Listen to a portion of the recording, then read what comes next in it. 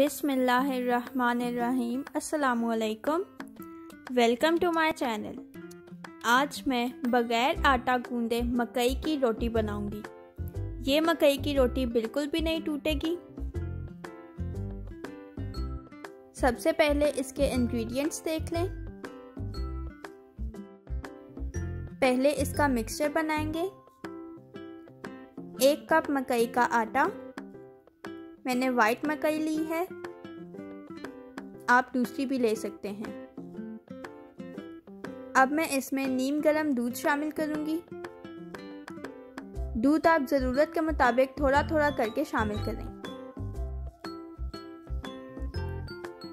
अब इसको मिक्स कर लें।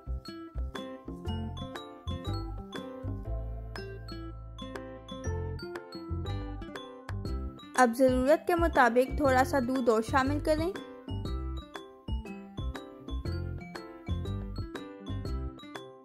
रेसिपी पसंद आने पर लाइक करें और रेसिपीज़ के लिए चैनल को सब्सक्राइब करें और बेल आइकन को भी प्रेस करें।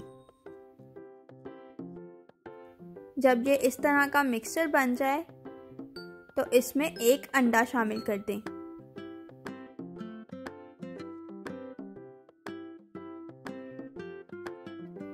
अंडे को भी अच्छे से मिक्स कर लें।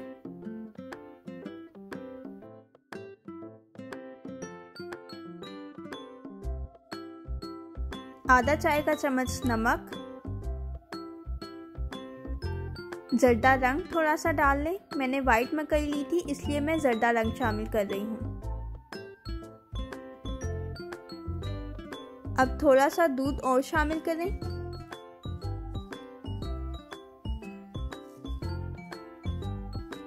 मिक्सचर बिल्कुल तैयार है। ये इसी तरह का होना चाहिए। ना ज़्यादा गहरा हो और ना ही ज़्यादा पतला हो। पैन को मैंने ऑयल से ग्रीस कर लिया था। अब इसमें मिक्सचर शामिल कर दें। साइड्स पे सारा फैला दें। तकरीबन एक से डेढ़ मिनट तक इसको एक साइड से पकाएँ।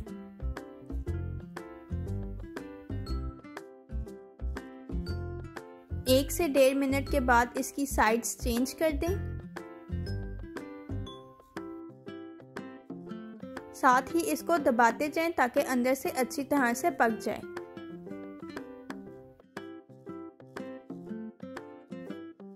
ये देखें, ये मकई की रोटी ना ज़्यादा मोटी है और ना ही ये बिल्कुल भी टूटी है।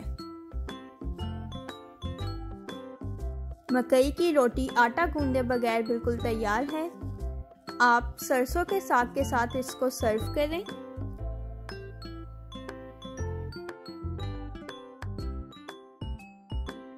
मेरा Facebook page the art of cooking by Arooj like करें।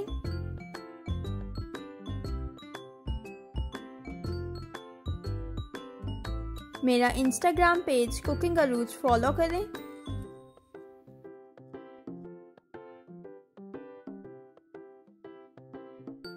Thank you for watching my video. Don't forget to like, share, subscribe and press the bell icon.